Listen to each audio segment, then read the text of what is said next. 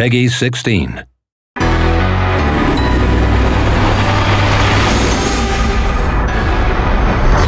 America is a beacon for the oppressed.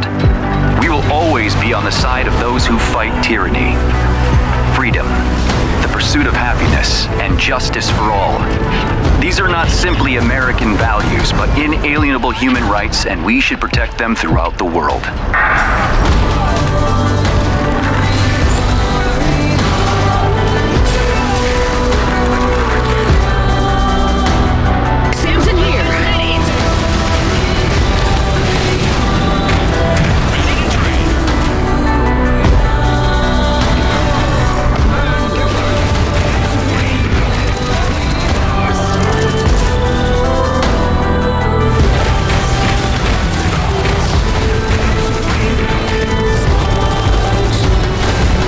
Don't leave our friends behind, right, Captain?